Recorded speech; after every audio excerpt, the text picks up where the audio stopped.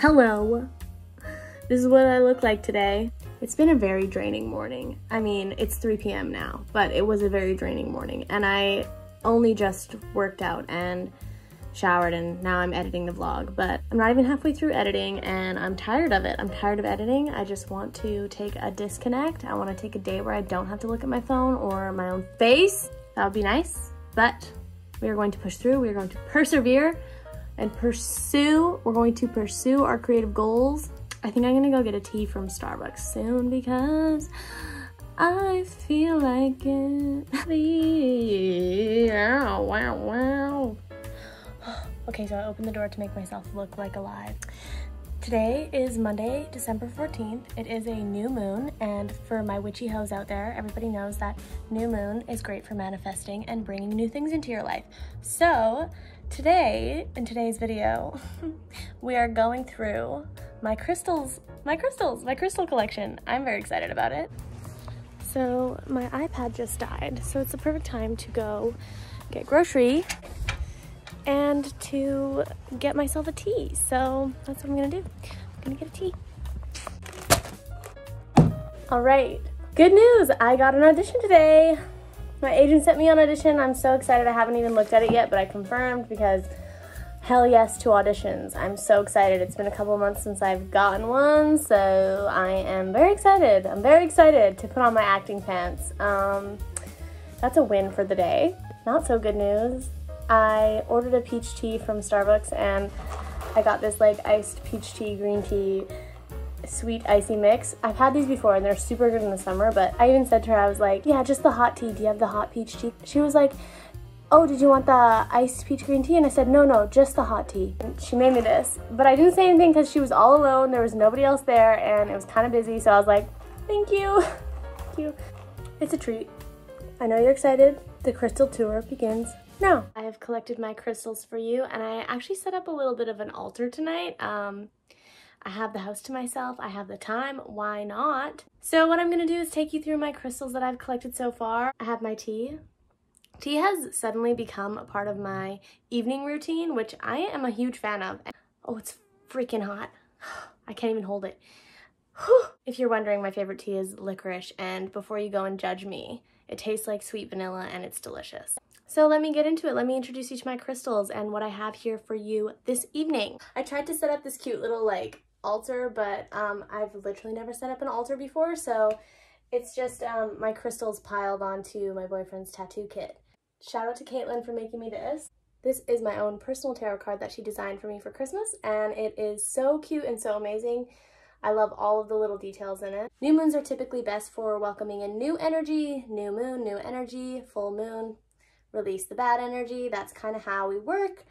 What I'm going to be doing is taking you guys through my crystals and show you how I might use them, tell you a little bit about them, and all right, so let's get into it. This is my little makeshift altar that I've set up. This is pretty much what it looks like when I charge my crystals in the full moon anyways.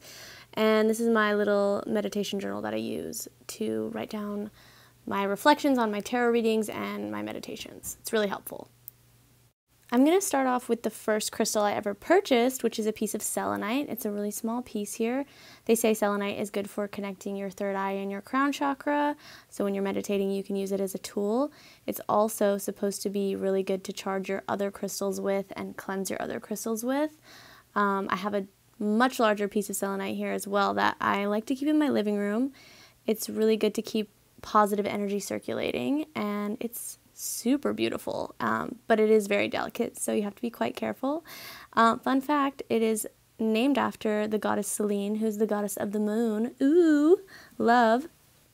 I really like working with selenite because they say it is the end all and be all of like energy healing. So if you need to shed some positive light in your life, it's a really good one to plug into your arsenal. It's um referred to as liquid light. So it's um, really diverse and a really nice, beautiful stone. Next up, we have quartz on the list. Queen quartz, me quartz, whatever you prefer. Quartz is literally the most well rounded crystal. It is also used in so much technology because it's literally proven to amplify energy. Um, it is able to take heat and transmit that heat into electromagnetic energy. So it's used in your watch, ultrasound machines, the list goes on. It's pretty amazing. And you can use your energy to charge it with good healing intentions.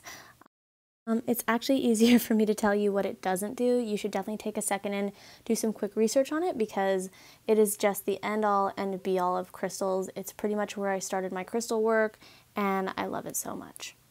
All right, next up we have Moldavite. Moldavite is probably my favorite crystal that I'm working with at the moment. It's also my newest addition to my collection.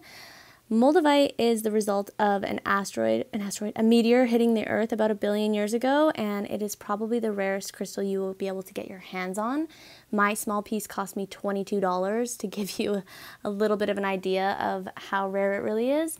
Moldavite is supposed to be good to quicken your spiritual journey or connect you to your guides or cosmic consciousness, if you will. Um, it's really great to connect to your higher self. And a lot of people say that they've connected to aliens, but I don't know if I can get on that level yet. I've paired mine with a little cherub medallion to really reinforce that connection to the spiritual side. And these next two, I cannot seem to find my notes on. I know I bought the little skull there for Trevor, and these two little golden spheres um, are a man made crystal of sorts that have all these beautiful gold flecks inside. I bought them with the intention of holding them and meditating with them to manifest money and material wealth because that's what they're intended for.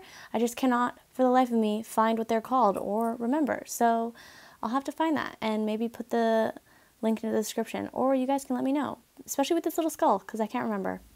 Next, I have some black obsidian, howlite, and amethyst in these little bracelets. I personally love wearing my crystals as jewelry, so these bracelets make it super easy. This amethyst that I have is a really deep purple, which is unusual. It's usually a lot brighter, but I found this piece and I loved how deep the purple was that I couldn't resist. Um, amethyst is amazing. It is known as the master healing crystal. It's very high in vibration, carries a lot of powerful energy for spiritual workers. Um, it's known for destroying energy, negative energy, and it activates your intuition. Next up, I have my piece of howlite. Howlite is a peace stone and it links to spiritual dimensions, opens your attunement to receive wisdom and messages from the other side.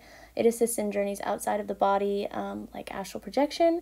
It's a stone that I haven't had the opportunity to work with a lot. Um, I have not spent too much time with it, but I really should because it's exactly what I want to achieve.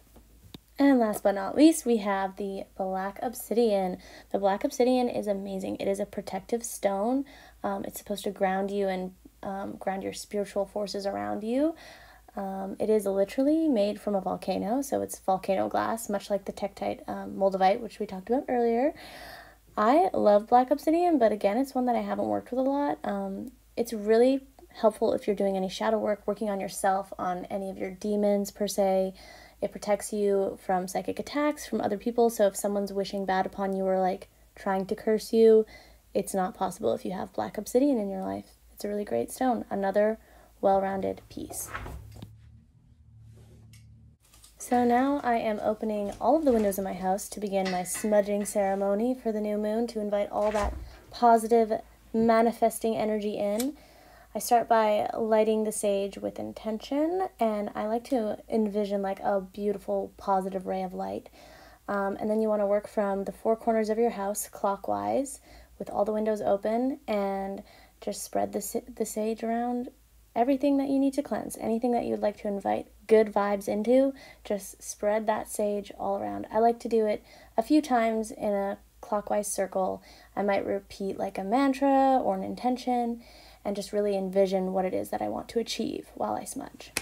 Okay, so there you have it. That's my little crystal tour for the day. I am to go and finish my new moon ritual and unwind because I am, I think my crystals can sense how tired I am. So I hope this video was informative. I hope that you enjoyed celebrating crystals the way that I do. And thanks for checking out my channel. Please like and subscribe. It helps me out a lot and I appreciate it. So drop a comment if you have any of these crystals because um, I would love to know. Let me know what crystal I should get next. I'm always on the hunt. Thanks for watching. Bye.